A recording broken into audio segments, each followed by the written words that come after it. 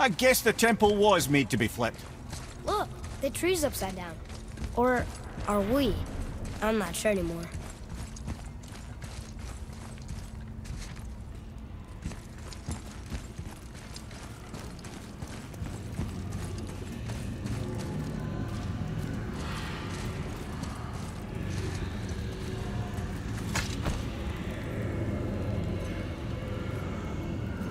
Boy, your knife.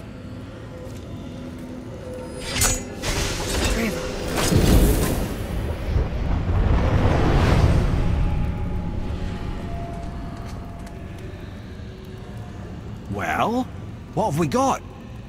Some sort of travel stone. Let me see. Great Ardumlazaras. That's the Unity Stone. You know it. I wasn't sure it existed. If Tyr possessed this, that explains how he could visit all the realms and other lands to boot. He held this. Panel in Odin's library. Yes. Yes, that's it. I understand now. It shows Tyr walking the realm between realms. You know how you must never stray from the path?